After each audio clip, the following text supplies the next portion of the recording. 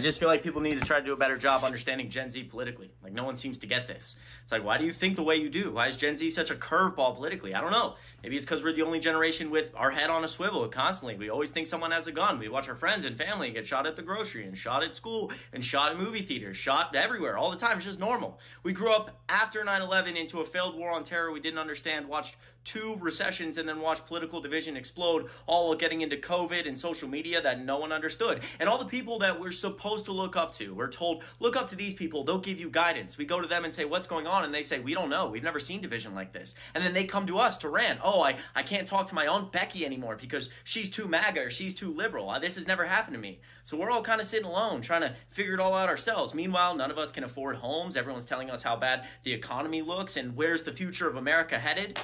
So you wonder why Gen Z has this like edge to us, why all of us are just so involved politically. It's because in a lot of ways America screwed us.